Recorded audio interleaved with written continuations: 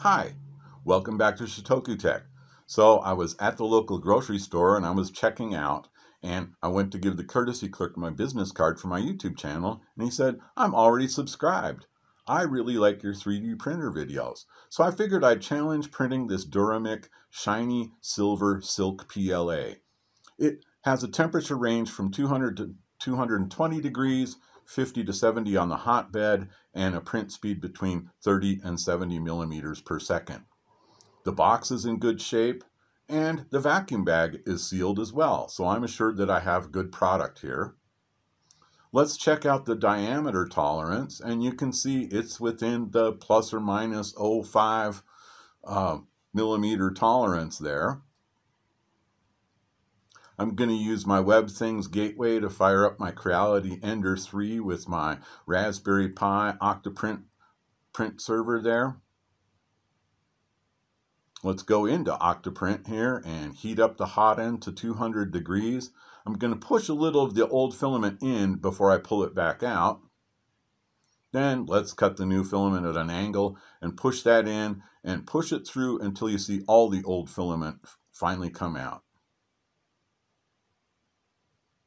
I've got this card box, this wallet, these napkin rings, and the business cards are already uploaded to the Octopi print server, so let's print those right now.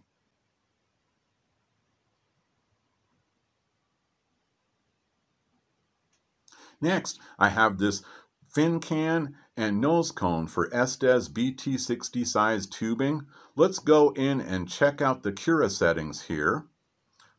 So in Cura, I'm using the Creality Ender 3 generic PLA 04 nozzle profile with an O2 layer height, two wall thicknesses, four top and bottom layers. That's 15% infill with the cubic pattern. The temperature is at 220 degrees on the hot end, 60 degrees on the hot bed. We're going to go with a print speed of 50 millimeters a second. We've enabled retraction here. We've got the fan spinning at 25%. We're going to go ahead and use a brim and I'm going to use tree support everywhere on the nose cone. So here we go.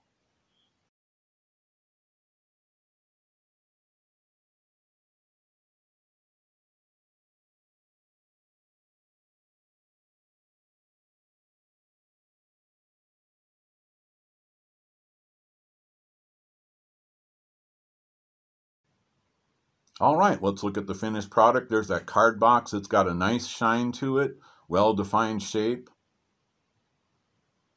Here's the napkin rings. I use them for organizing my charge cables. They have a great sheen. The finish is very smooth. Here's the wallet. Again, great sheen to it. Nice finish. Very smooth. Here's the business cards. I love how the raised letters shine like that.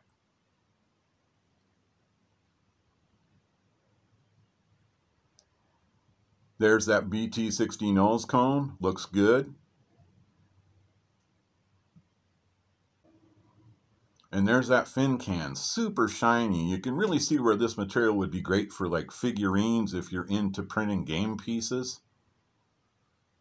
All right, so perhaps you'd like to check out this Duramic 3D Silver Shiny Silk PLA for yourself.